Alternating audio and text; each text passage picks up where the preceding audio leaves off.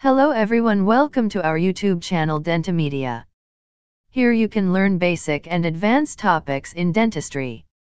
Before starting please subscribe to our channel to get daily updates.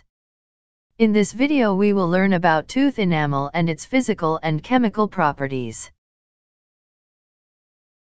Enamel is an ectodermal derivative and is the most highly mineralized tissue known. It is the hardest tissue of the body, which covers entire surface of the anatomical crown of all the teeth. Enamel is the most highly mineralized tissue of the body. An important physical property of enamel is its permeability. Enamel is permeable to some fluids, bacteria, and their products. The enamel attains a maximum thickness of 2.5 mm on the cusp of crown and a minimum of about 100 microns at the neck of the tooth and bottom of the pits and fissures.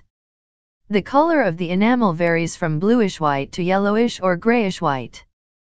The color is determined by differences in the translucency and thickness of enamel. The specific gravity of enamel is 2.8. The density of enamel is 2.8 to 3 g/ml.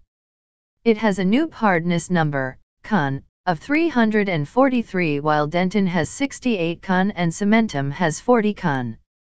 Enamel resists masticatory impact of about 10 to 20 kg per tooth. Hydroxyapatite crystal of enamel is 300 times larger than dentin. Chemical properties Enamel is composed of both inorganic and organic substances. It contains containing by weight 96% inorganic matter and 4% organic matter and water. The inorganic content is mainly hydroxyapatite crystal and is present 92 to 98% by volume of total inorganic. The organic components of enamel are two main groups of proteins are amelogenins, 90%, and non-amelogenins, 10%. Important proteins of non-amelogenin group are enamelin ameloblastin and tuftelin. Thank you for watching. Please subscribe our channel to get interesting videos.